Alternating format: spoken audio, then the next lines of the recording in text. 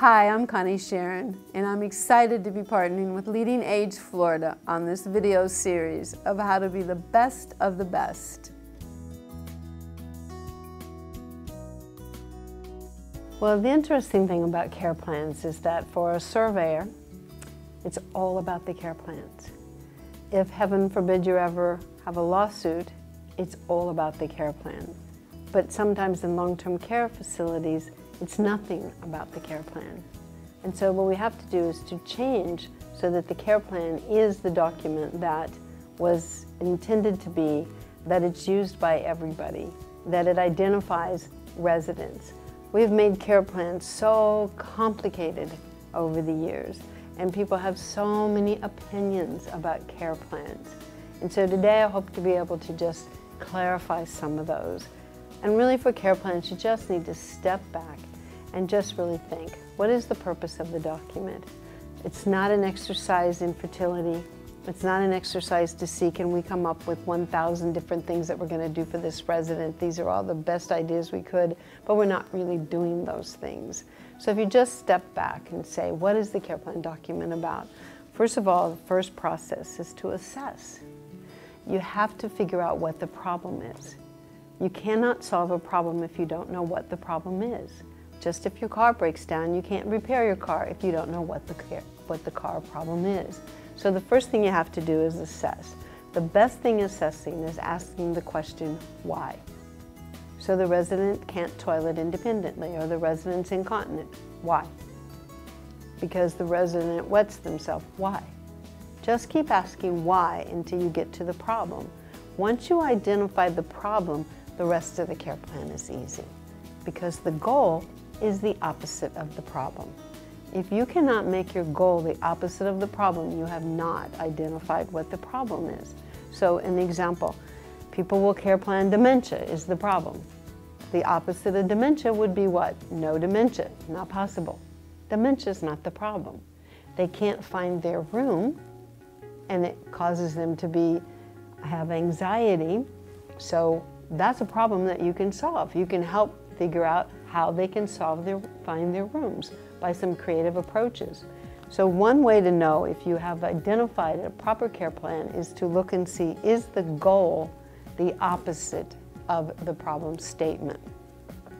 Once you've identified what the goal is, then the next really becomes the strength of the facility. That's when you get to the interventions. And those interventions need to be real interventions that you're doing. And once you remove all of those things that people put on their care plans that are just routine care, such as praise, encourage, um, all those, those things don't need to be on the care plan. Those are just fillers that you're trying to fill. You want to look, how can we really solve this resident's problem? So let's go back to the resident can't find their room related to a cognitive loss, related to a diagnosis of dementia. Goal is resident will find their room. Then how can you help the resident find their room? There's many creative ways that you could help the resident find their room. You could put a picture of them on the on the outside of the door so that they see themselves. You can use color code stripping down the hallway because color, sometimes with dementia residents, is the last thing that they'll lose the ability to identify. So follow the red strip down to your room. There's many ways that you could help a resident find their room and you've solved that problem for that resident. So the thing with care planning is it has to be a document of things that you're really doing. It has to be a fluid document. It has to be a document that people look at. You know, sometimes with care plans, the first time that people are looking at them is when a survey team comes in. And then they're looking at it and they're saying, well, you're not doing this, you're not doing this, you're not doing this. Um, care plans need to be looked at. You know, we've gone electronic for a lot of the care plan processes. Whether you're electronic or whether you're doing paper and pencil or pen, you still must have staff be able to look at the care plan. The care plan meeting that you're required to have, sometimes I think we have all of the wrong people in these meetings. They should all go back to their offices and the real people who are providing the care should be attending the care plan meetings. Time, of course, is a, is a, is a factor. I always recommend doing care planning um, once you have the care plan developed, review that care plan at the bedside. And that's when you can call in that permanent team aide, the CNA, the CNA, the charge nurse, you know, the, the person who's providing activities on the unit. These are the people that should be attending the care plan meeting. These are the people that are really providing the care. They shouldn't be attended by all the disciplines and the head of the departments that are not really providing the care. They should be attended by the people that are providing the care. I'd much rather see a shorter care plan that actually lists the things that you're doing for a resident than a 37 page care plan where things are not really being carried out. Um, once you have the care plan developed, then the care plan needs to be updated. So now you find that this intervention isn't working. You have a, a potential for fall related to um, a new admission, and you find that the resident falls.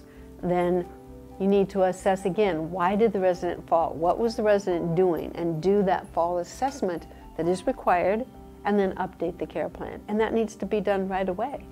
You know, people say, well, why can't we wait till Monday? And I tell them, okay, so a residents admitted um, on a Thursday, they fall on a Friday night, and your plan is to update that care plan on Monday. Now the resident falls on Saturday.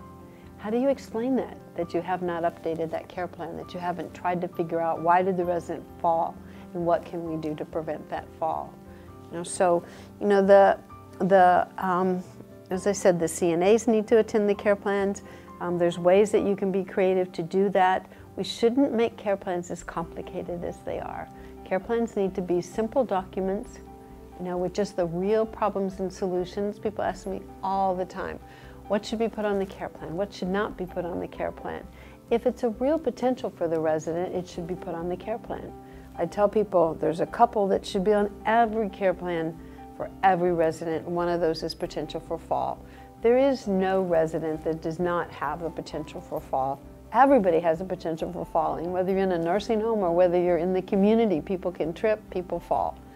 Now, if the resident is not able to offload their weight, to shift their weight, then they need to have a potential for pressure sore development on the care plan. So there's certain things that should be on every care plan. Um, but beyond that, care plans should be then individualized and they should be real potentials or actual problems for the residents. So again, the care plan needs to be relevant at all times. So if a resident has a significant change, and the significant change is the resident has a cold, and that's going to be resolved in a short period of time, then it doesn't necessarily need to be on the care plan.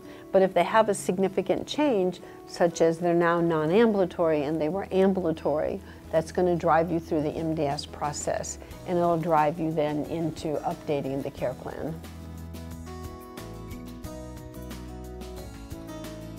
If the resident changes, you need to update the approaches or the problem list. Again, it needs to be a fluid document, a document that changes. It's not set in stone. So whether the resident improves or whether the resident declines or the resident has a new problem, like potential for pressure sore development should always stay on the care plan if the resident's non-ambulatory or unable to offload their weight. But if they develop a pressure sore, that should be a separate care plan. Once that pressure sore is resolved, it can be removed from the care plan.